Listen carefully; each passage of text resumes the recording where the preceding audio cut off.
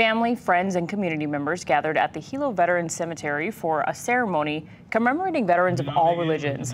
The Youth Challenge also participated in paying their respects.